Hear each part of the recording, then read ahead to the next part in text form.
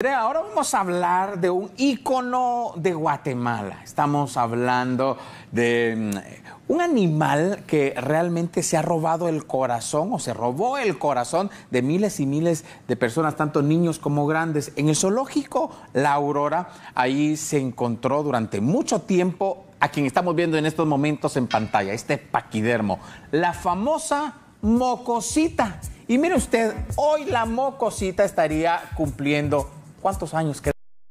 64 años. Lástima que ya falleció. La mocosita nació un 24 de enero de 1955 en India. Por esa razón se le celebra su cumpleaños en el zoológico La Aurora, aunque ya no está con nosotros, aunque ya hoy en día en el zoológico La Aurora, todas las personas, tanto trabajadores en ese lugar como también todas las personas que en cierto momento tuvimos la oportunidad de conocerla, la recordamos, la recordamos en esta fecha tan importante porque en un día como hoy ella estuviese cumpliendo 64 años. Y vamos a recordar un poco de este animal que realmente y todo el mundo quería ir al zoológico a ver a la famosa mocosita. Fíjate que esta mocosita fue un elefante originario de India que murió en el año 2008 cuando tenía 56 años. Estamos hablando, pues que hace 11 años el elefante arribó a Guatemala de marzo de 1957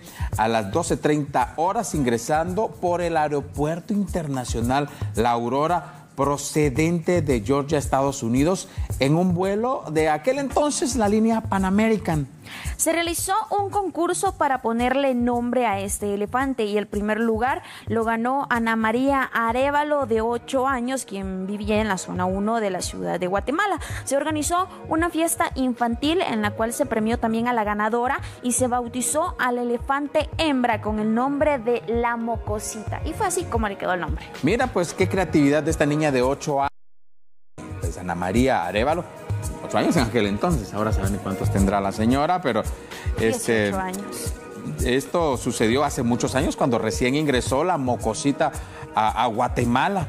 Pero cabe mencionar que este elefante se robó el corazón, el cariño de los guatemaltecos. Y cuando murió la mocosita fue un duelo, un luto total para pues todas las personas que íbamos y disfrutábamos de las gracias de la famosa mocosita. ¿Tú la viste? Sí, muchas veces. En muchas ocasiones. En muchas ocasiones íbamos a ver a la famosa mocosita. Sí, sí. De hecho, en las redes sociales, si usted coloca, por ejemplo, en el buscador de Google la mocosita, la mocosita, entonces ahí va a aparecer mm, la querida elefante que estaba en las instalaciones del, del, del zoológico La Aurora, aquí en la zona 13. Esta zona Así es como la recordamos, ya que hoy ella estuviera cumpliendo 68 años.